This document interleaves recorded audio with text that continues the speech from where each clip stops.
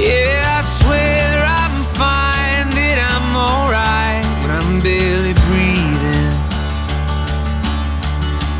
Thought I could find my way back home, but I get lost alone.